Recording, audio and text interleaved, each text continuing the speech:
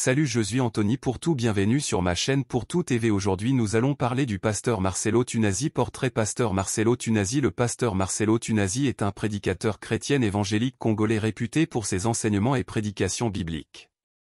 Né 25 janvier 1982 à République démocratique du Congo, il est le fondateur de l'Église La Compassion à Kinshasa qui est devenue elle une des églises évangéliques le plus influentes de la région Marcelo Tunasi est connu pour sa passion pour elle, enseignement de la parole de Seigneur et pour son style de prédication dynamique. Il aborde souvent des sujets variés liés à la foi, la